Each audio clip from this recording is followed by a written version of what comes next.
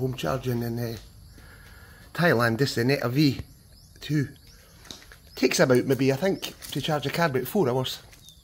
But I didn't. Uh, I don't let it run to the empty. Maybe half full.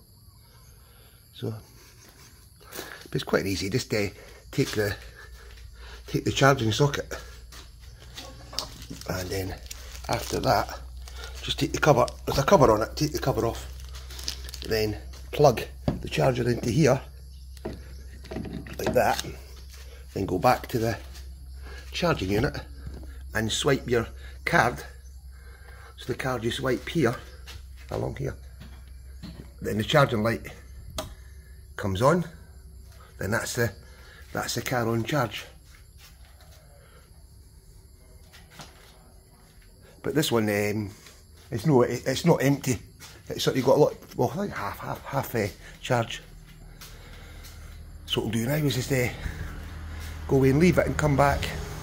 You know, I've had it for one month and uh, nearly 2,000 uh, kilometres I've done it and practically, well no, no a lot, they say maybe, I don't know, you say maybe 700 baht or something to charge it. It's not been very expensive.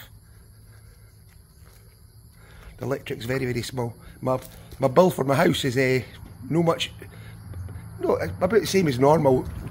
So I don't think it's added an awful lot onto the bill.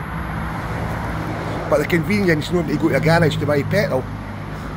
So, because uh, the garages locally in the village charge a lot more for the petrol. So you've got to pay another half a baht or something per litre. So, and the big garages are sort of maybe seven kilometres for here, so it's it's no economical to run to a garage just to fill it up. Okay, charging the Veneta in uh, Thailand.